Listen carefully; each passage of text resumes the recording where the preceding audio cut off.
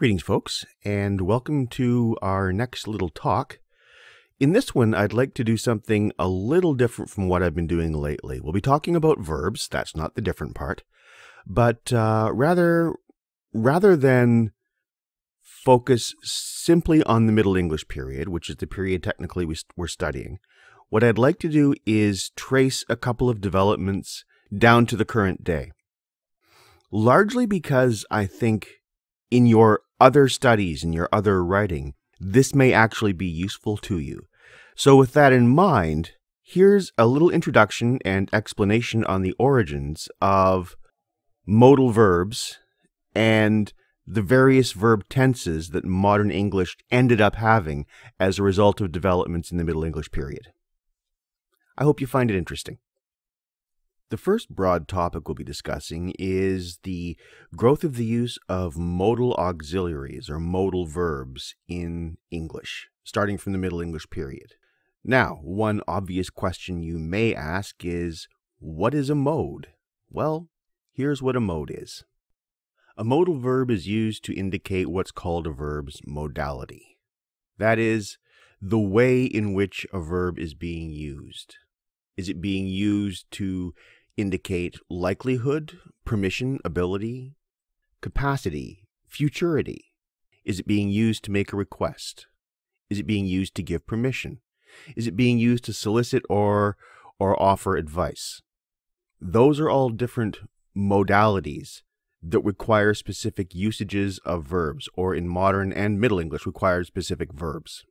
So, how and why did Middle English, and thus Modern English, end up needing all of our modal verbs, whereas Old English didn't really need them? And the answer is very simple.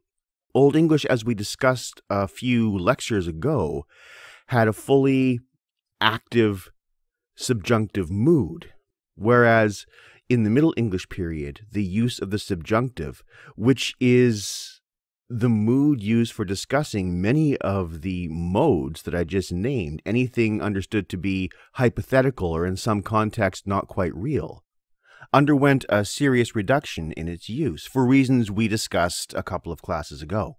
Well, this needed to be replaced with something, and what it was replaced by was a fairly fully developed system of modal verbs or modal auxiliaries, which we still use. So, just to clarify from the list of modalities that I rhymed off on the last slide, here are the modalities we actually use ability, possibility or expectation, that is, can something happen or do we think it's very likely to happen? Permission, advice and obligation, and there's a fair bit of overlap on these ones. Conditionality, that is, does one thing rely upon another? Futurity because English doesn't actually have a future tense, properly speaking. We, we need to use a modal verb to indicate futurity. There's an old joke among Anglo Saxonists there's no future in Old English.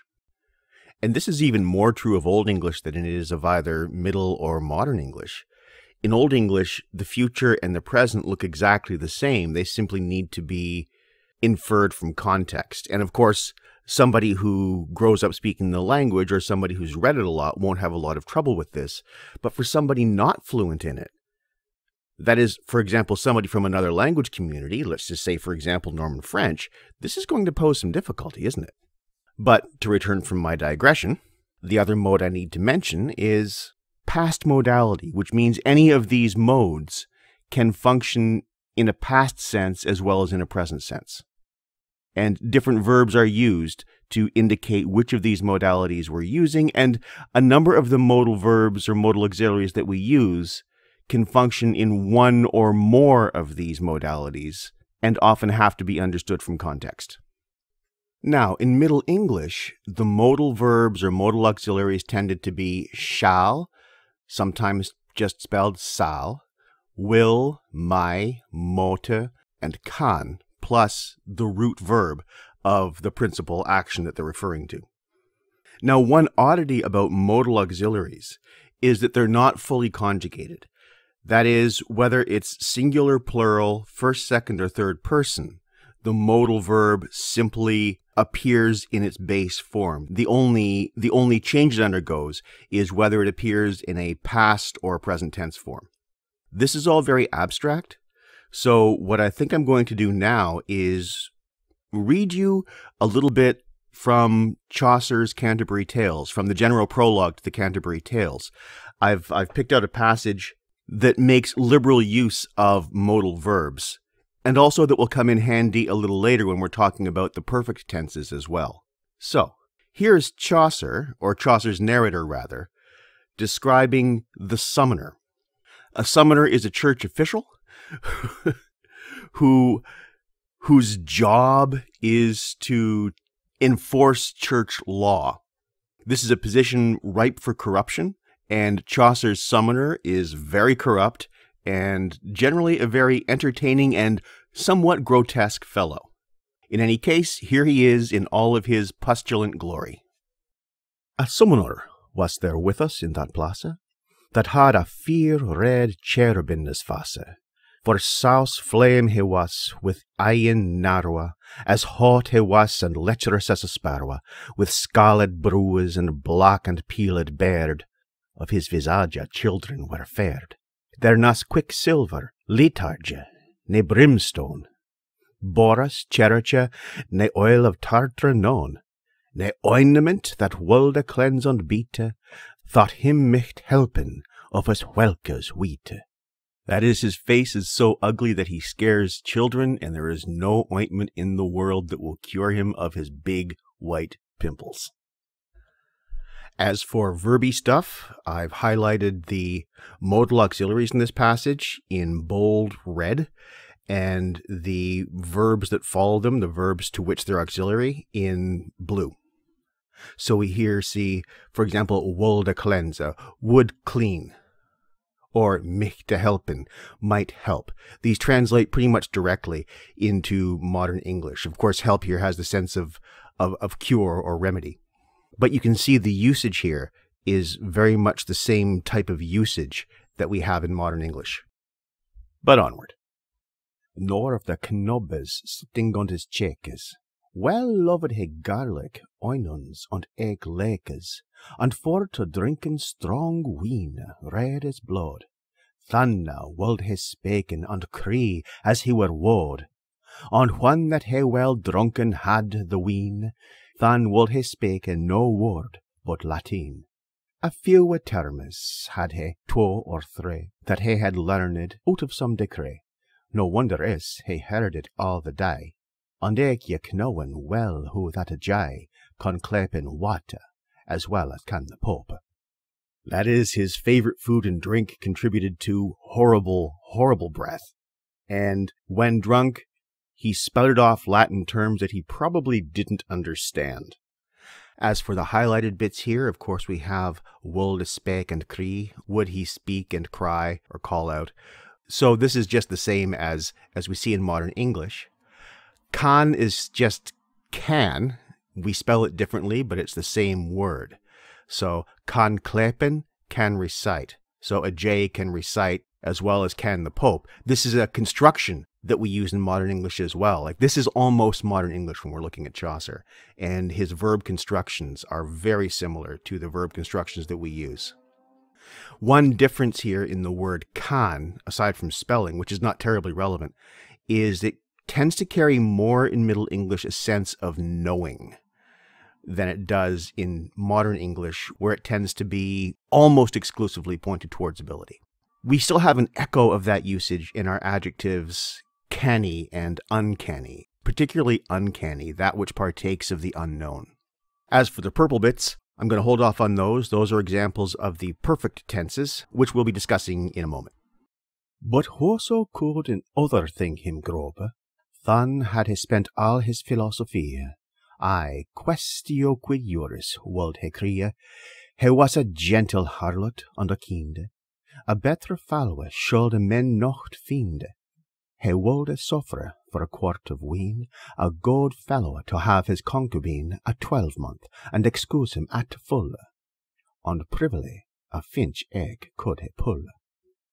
That is, for a quart of wine, he would allow himself to be bribed into letting a good fellow have a mistress for a year without giving him penance and just excuse him.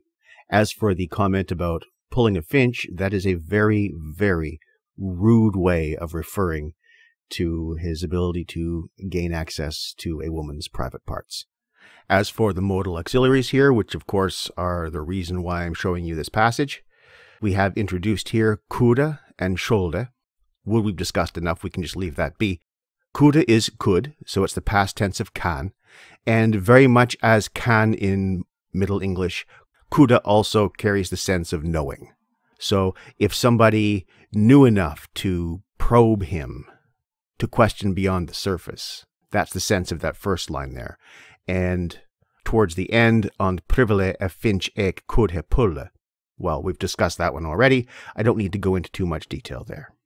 Regarding sholde, which of course is simply the past tense of shall, here it carries the sense of not so much possibility or even obligation as a likelihood, very much as it does in modern English.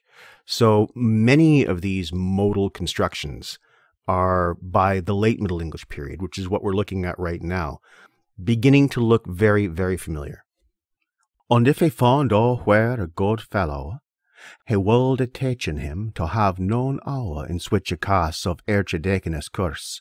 But if a man's soul were in his purse, for in his purse he should he punished be. Purse is the archideaconess hell, sighed he, but well he would he lead richt in dead. Of cursing, och each guilty man him dread, for curse will slay, richt as a soiling saveth, and also war him of a significavit. That is, he would teach a good fellow not to fear excommunication, not to fear the archdeacon's curse, but instead to pay a fine for his misdeeds as if his soul were in his purse. And then the narrator calls him on his bullshit, basically, and utters sort of a, a pious platitude that everyone ought to fear excommunication because it will send you straight to hell. And also one ought to be aware, ought to be worried about a significavit, a writ of arrest. The actual piety of the narrator in Chaucer's Canterbury Tales is always up for grabs. He's a wonderful character, and if this were a class in literature, I'd spend more time talking about it, but as it's a course in language history, I'm going to move on and finish the passage. Before I do, though, there's a new construction we need to look at. If you'll take a look at the bit that's highlighted in yellow and following. So, but if a man's solo were in his purse, for in his purse his shouldy punished be. He's using a construction here that we call the unreal conditional. If a man's soul were in his purse, and there we see a remnant of the old subjunctive construction, and we still have this in modern English. That is, a man's soul is not in his purse, but if it were, he should be punished there. This is exactly the same as, as how this construction works in modern English.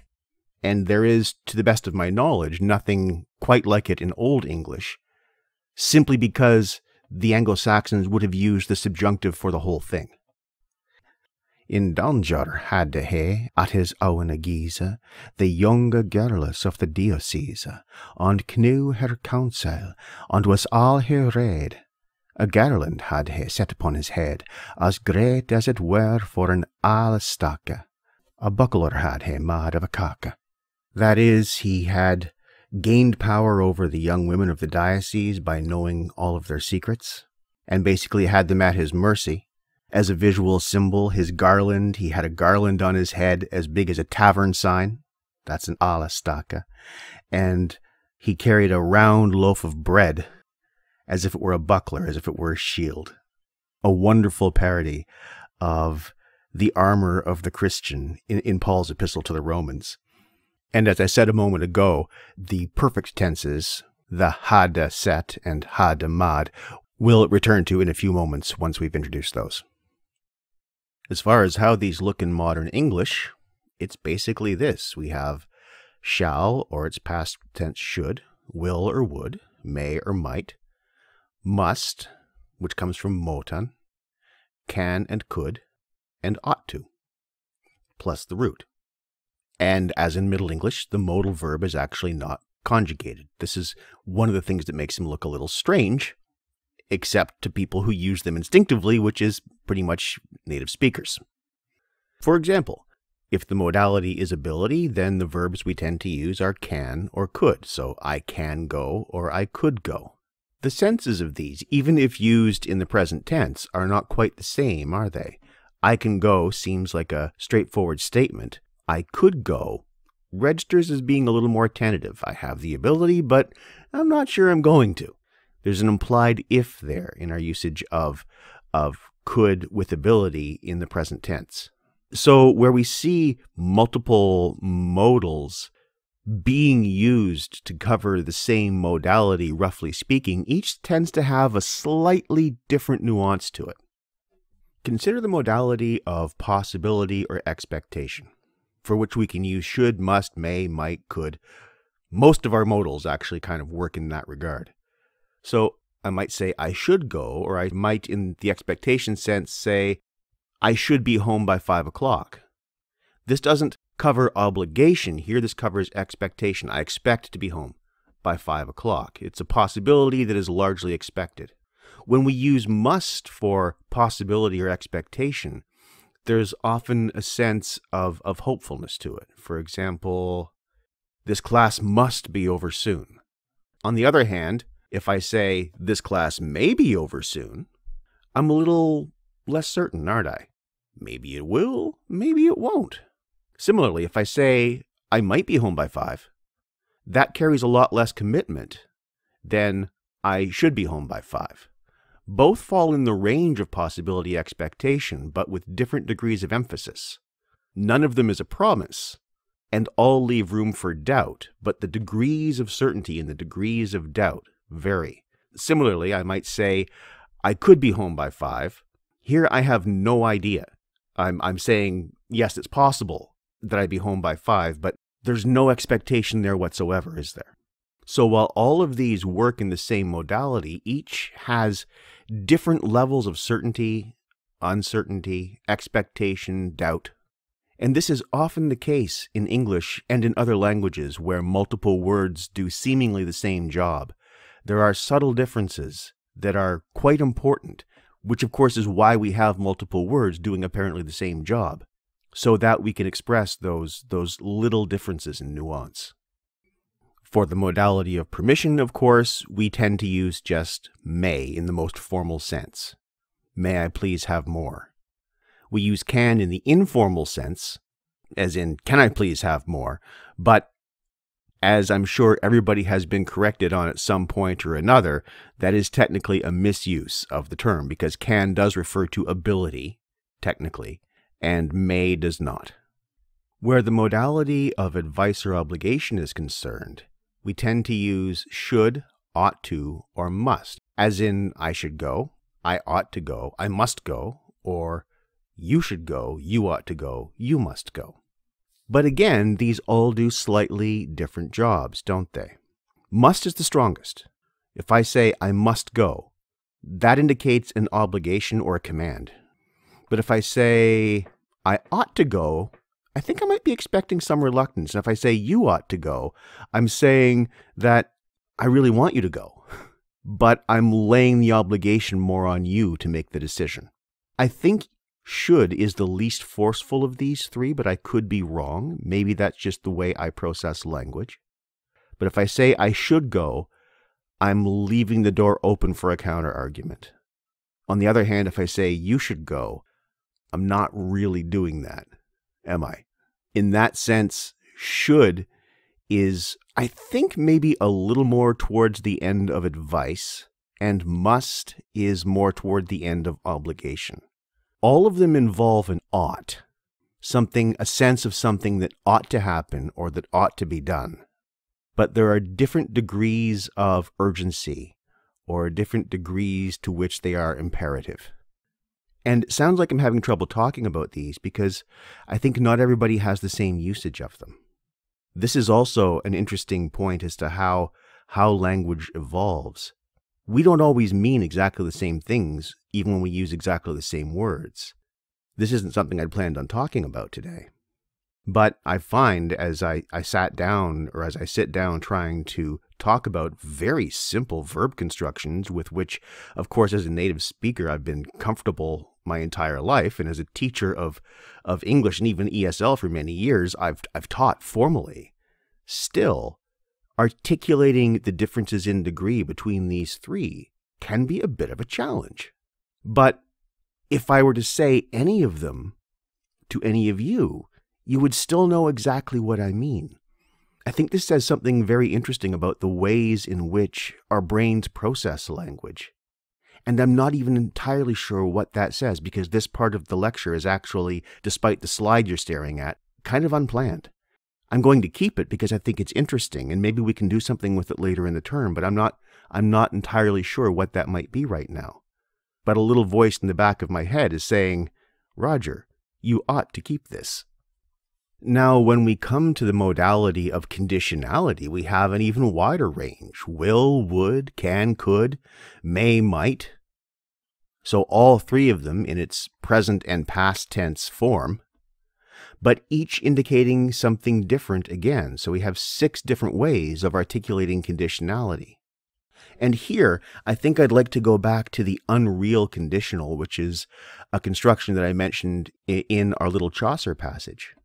I could say, I will go if you ask me, or I may go if you ask me, or I can go if you ask me, or I may go if you ask me.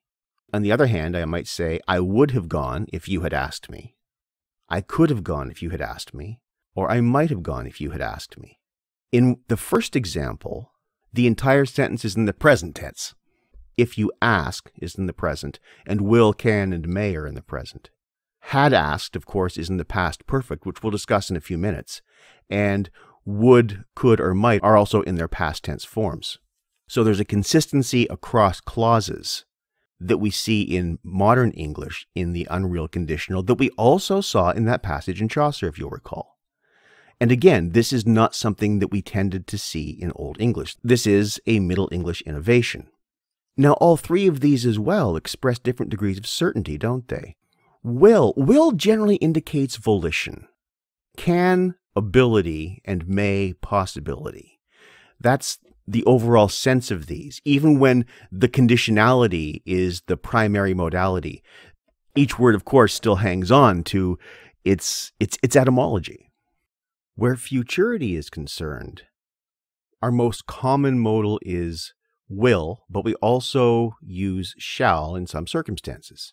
Will is how we make the future tense in English. So it can simply indicate futurity with no other implications. It can also indicate volition. Shall, on the other hand, carries a sense of obligation or commitment. If I say the sun will rise tomorrow, I'm simply making a statement of fact. If I say the sun shall rise tomorrow, it looks like I'm trying to command the sun. On the other hand, if we think of that scene of in the in the Fellowship of the Ring, Gandalf with the Balrog at the bridge, and his line, his famous line, "You shall not pass," it wouldn't carry nearly the force if he had simply said, "You will not pass."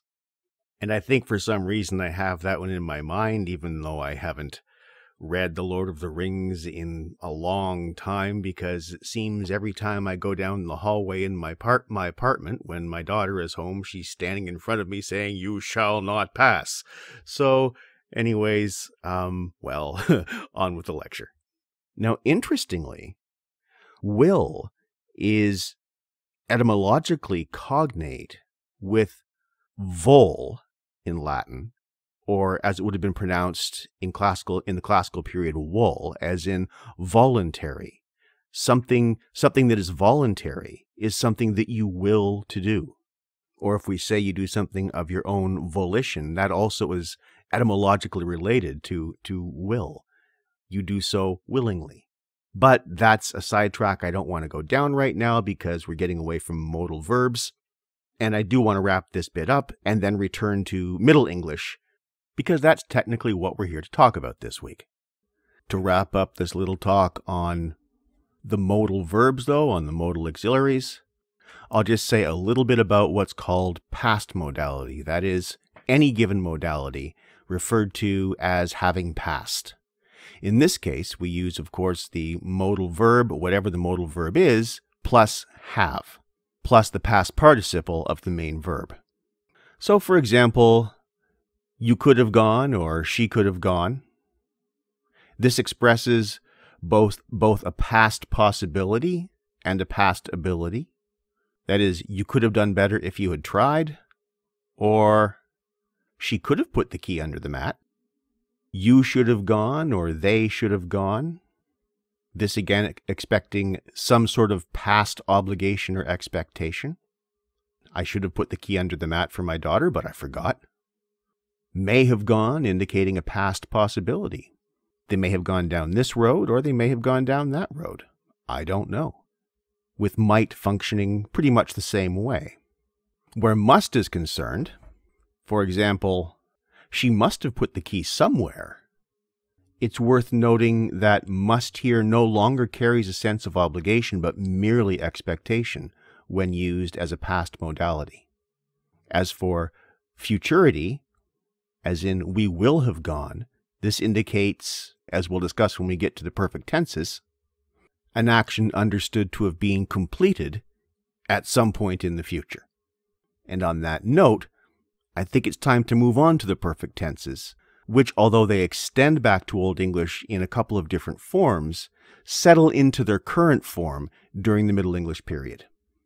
So, the first question you might ask, and this will be easier, I think, for people who have a language other than English, particularly French what is a perfect tense? A perfect tense, and the word perfect suggests completion, refers to an action understood to have been completed at some point in time relative to the utterance in question.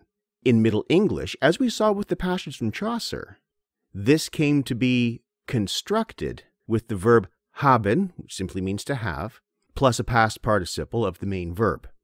You'll remember in the in the summoner's description, for example, when that he well drunken had the wine, than wolde he spake no word but Latin. That is, when he had drunken lots of wine, then would he speak no words but Latin. So the way that lines up in time is that he completed the drinking of the wine and then switched into Latin mode. And you'll notice in that sentence as well the very familiar when then construction that we use all the time in contemporary English. Or not to look at all of the examples because we don't need to do every single one of them. You can look over them in your own time, of course. The conclusion of that passage, a garland had he set upon his head, as great as it were for an alistake a buckler had he made him of a cock. Again, he had set a garland on his head. He had made a buckler from a, a big round loaf of bread. The point of time here is not articulated clearly. That is, it's not a when then construction. But by the time the narrator observed him, he had already done these things. So the action was completed in the narrative past. That is, the narrator is generally speaking in the past tense anyway. And the past perfect, which is the verb tense that Chaucer is using here, is used for an action completed in the past relative to another action in the past. That's its function. And that was its function 600 years ago. So this as well has remained relatively stable over the intervening centuries. As for why or how this development played out the way it did, we're not exactly sure. It may be related to the grammaticalization of auxiliaries, as we've just been discussing. But unlike with modals, have or haben or to have is actually conjugated, whereas will, should, may, might are not conjugated when they're used as modal auxiliaries. So to have or haben when used in the perfect tenses, doesn't function quite the same way as a modal auxiliary does. But it's stabilized in that form round about when those particular constructions were also stabilizing. I suspect settling upon haben, to have, as the auxiliary for indicating the perfect tenses probably comes from French. That is, probably comes by analogy from French because it's with some version of avoir, to have, that the French language makes its perfect tenses. In Old English, there were two options, one being haben and the other being ben, that is a form of be. In any case, let's take a look at how it looks now. As I said, I'm going to trace these developments through to their, I won't say conclusion, but through to their current standing in contemporary English.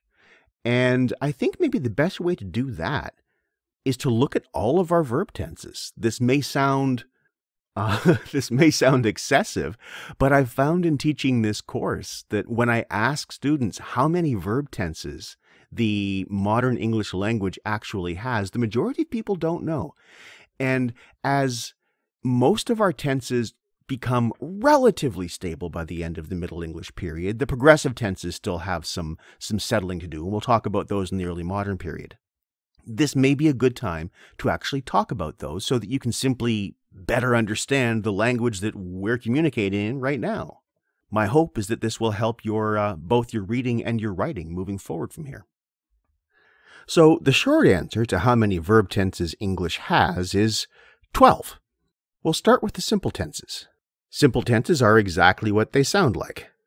The simplest way of indicating time when you're conjugating a verb. So in order of time, we have past, present, and future, the simple past, I bit, the simple present, I bite, in the simple future, I will bite. As for how these are used, this is also fairly simple. The simple past is used to indicate actions that took place in the past. I bit the apple five minutes ago. The simple present tense is used to indicate habitual actions or general truths.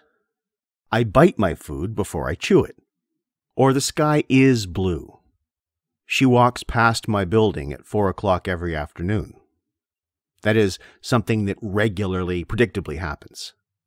The simple future indicates, pretty much as it says, actions that will occur at some point in the future. I will be home by five. Taxes will increase next year. You get the idea. The next set of tenses we have are the progressive tenses. Now, as I said, the progressive tenses hadn't quite stabilized by the end of the Middle English period, so we'll talk more about how they came to look exactly as they look in a few weeks. In the meantime, let's talk about how they're made. We make the progressive tenses by using some conjugated form of to be and the present participle of the main verb. So, whereas with the simple tenses, we simply conjugate the main verb, in the progressive tenses, we conjugate to be and just use the present participle of the main verb. So, I was biting, I am biting, I will be biting. What these indicate is an action ongoing at the time referred to in the utterance.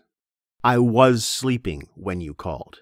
I am talking right now you will be listening to the lecture sometime in the future relative to this utterance. The next set of tenses we have are the perfect tenses about which we were just talking. These are made with some conjugation of the verb to have, followed by the past participle of the main verb, the verb indicating the action described. So the past perfect, I had bitten, or Present perfect, I have bitten. Future perfect, I will have bitten. And as I said a moment ago, the past perfect indicates an action completed at a point in time relative to something already past. I had already bitten into the apple when she told me that it might have been poisoned. The present perfect, with have and the past participle, has a couple of different uses. One, it indicates Actions recently completed. I have just arrived. Her plane has just landed. It also indicates actions completed at some point in the past, but that might be undertaken again. So, for example, I might say, even though the last time I was in the British Isles was 2010, I have been to Britain twice. There's always a possibility I could go back, and I very much hope I will. On the other hand, I can't say my grandparents have only been to Vancouver once because my grandparents are both dead. So there is no possibility that they can ever go to Vancouver again. In this case, I would simply say my grandparents went to Vancouver once. That is, I would use the simple past. As for the use of the future perfect, we don't tend to use this one all that often, but it certainly does have its uses. Its function, of course, is to indicate an action that will have been complete, that will be complete at some point in the future, but that is not yet complete as of the time of speaking. By the time they finish their shopping spree, they will have spent over a thousand dollars. But then, of course, we have one more category of tenses. We have the perfect progressive tenses. These are made with some conjugation of the verb to have, just as the perfect tenses are made, with the past participle of to be, so been, and the present participle of the verb indicating the main action. So I had been biting, I have been biting, I will have been biting. I don't know what it is with me and biting. Now, these of course all have specific uses as you'll expect. Because they're perfect tenses, they indicate that the time of the action is relative to another time in either the past, present, or future. And because they're progressive, they indicate that at that time, relative to another time, they will be ongoing or they will be understood to be ongoing. So I might say, for example, in the past perfect progressive, I had been reading for three hours when the phone rang. The phone rang in the past, and at that point, my reading had been ongoing for three hours. I might simply say, I have been reading for three hours. My reading started three hours ago, and it is going on right now. It could continue into the, into the future. We don't know. Or I might say, by the time I go to bed tonight, I will have been reading for five hours. That is, the activity will have gone on for five hours at the point of completion at some time in the future. So those are the 12 tenses that English has in the active voice. And remember when I said the short answer is 12? Here's the long answer. These 12 tenses also occur in the passive voice. Now, as many students have difficulty with the passive voice and distinguishing active from passive, I think this might be a good time to talk about that little element as well. And then I do believe it will be time to let you go. The first question that may occur to you is what is the passive voice? And I don't say this to be condescending. When I ask a, a, room full of students if they can define the passive voice for me, even in this course where people have a demonstrated interest in the English language as such, it's more often than not that nobody can give me a clear definition of what the active voice is, of what the passive voice is more often than not, what I end up getting is some past tense construction or some explanation of the past tense. I'm not sure why, but that does seem to be the most common reply. So, here's what the different voices mean. The active voice is called the active voice because the subject of the verb does the action of the verb. That is, the subject is active.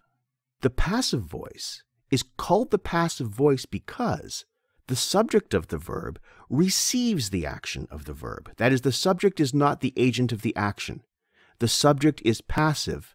The agent is something other than the subject. An easy example might be in the active voice, a dog bit me. The verb is bit. It's conjugated in the simple past.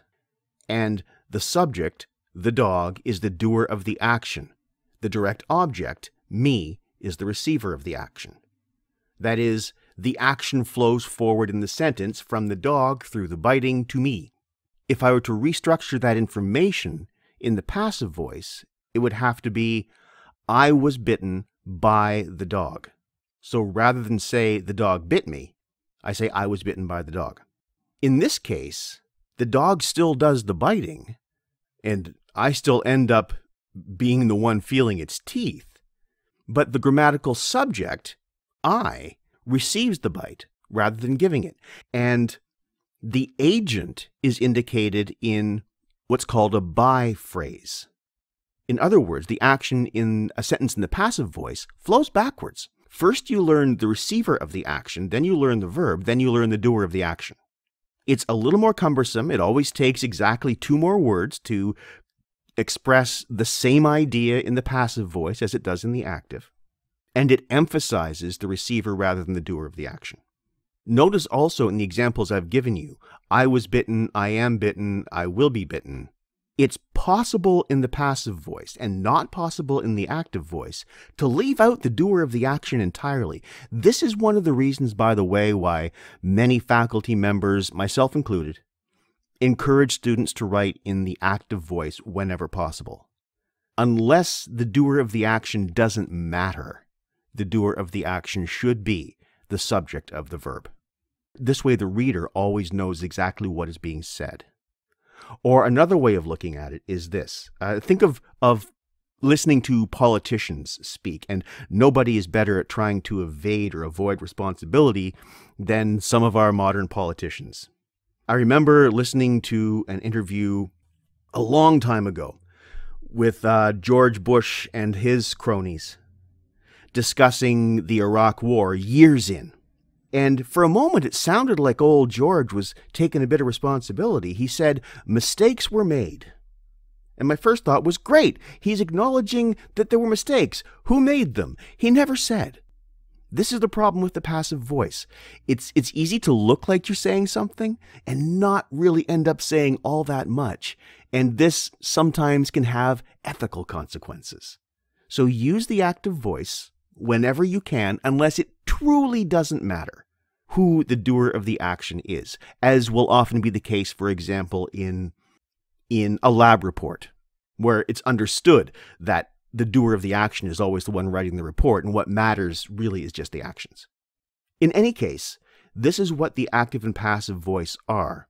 And as I said, the passive voice has a full set of conjugations, a full set of verb tenses in English. And I'll just run through those and then I will I will let you go. In the simple tenses, we have I was bitten, I am bitten, I will be bitten. That is, we have a conjugation of to be followed by the past participle of the verb indicating the action. And if we want to have the agent indicated, we need, as I said, to follow that with a by phrase. And as with the active voice, the progressive tenses in the passive voice indicate actions ongoing at the time referred to in the utterance. So I was being bitten, I am being bitten, I will be being bitten. They get kind of awkward after a while, don't they? These are made with a conjugation of to be, followed by the present participle of to be, followed by the past participle of the main verb, the verb indicating the action. So I might say, for example, in the past progressive, I was being harassed by telemarketers until I got an unlisted number. Or I might say in the present progressive, I am being harassed by telemarketers right now. Or I might say in the future progressive, come this time next week, those telemarketers will be being harassed by my lawyer. In every case, though, you'll note that the sentence does de emphasize the doer of the action and emphasize the receiver of the action. And as I said, once we get up into the future progressive, they're starting to become a little cumbersome. And honestly, for the sake of your own writing, you want to avoid anything that's cumbersome. So again, wherever possible, use the active voice. It's clear, it's more intuitive, and it flows in the same direction as our thoughts tend to flow. That is, the passive sentences, as I've said, as I said last slide, are, are kind of backwards. The action flows backwards in them. As for the perfect tenses in the passive voice, these, as you can probably guess, are made with some conjugation of to have, followed by the past participle of the main verb. So, I had been bitten, I have been bitten, I will have been bitten. These, just as their counterparts in the active voice, indicate actions understood to be completed relative to a particular point referred to in the utterance, past, present, future, what have you.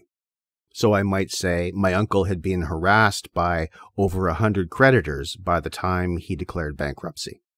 Or I might say, my uncle has been harassed by hundreds of creditors. He is thinking of declaring bankruptcy.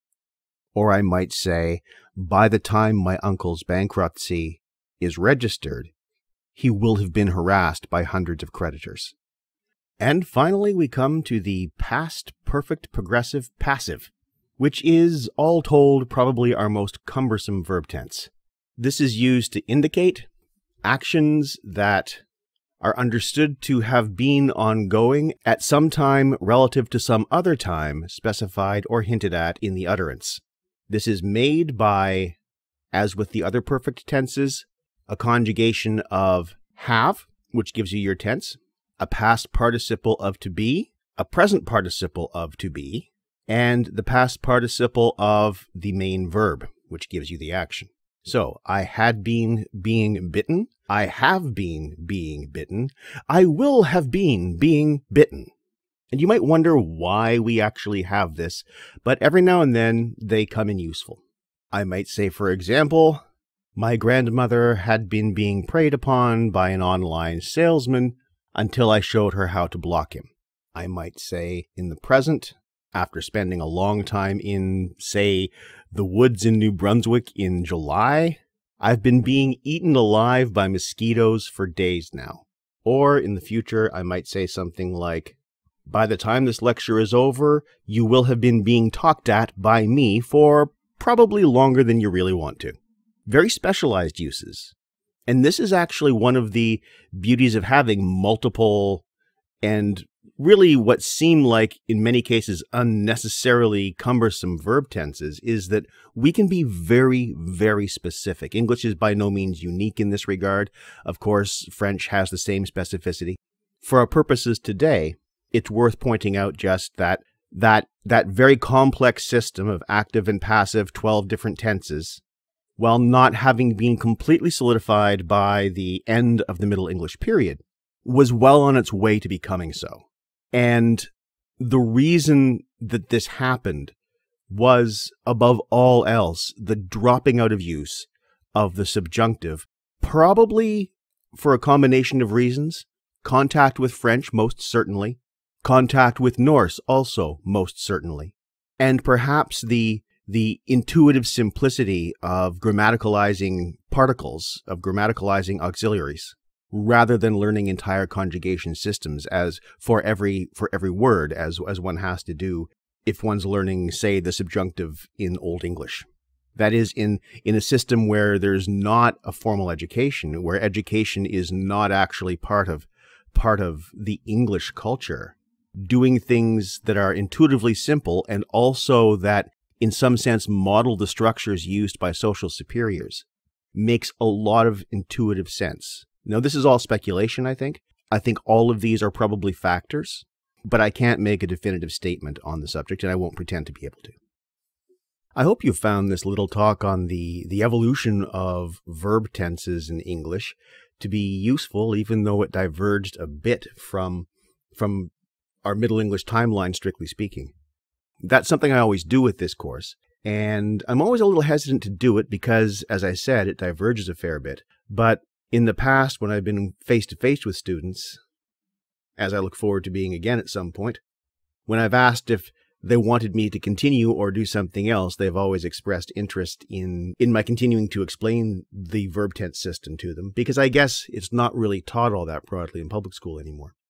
So, as I said, I, I hope that you feel that your time has been well spent in listening to this and I'll get back to something a little more strictly focused on the history of the English language as such in our next talk, which will probably be something like uh, a history of the later Middle English period as, as pertains to the language itself, and probably delve a bit more into some fun vocabulary things.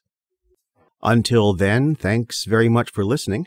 And, uh, and as I said, I hope you're finding this interesting and useful. Talk to you soon.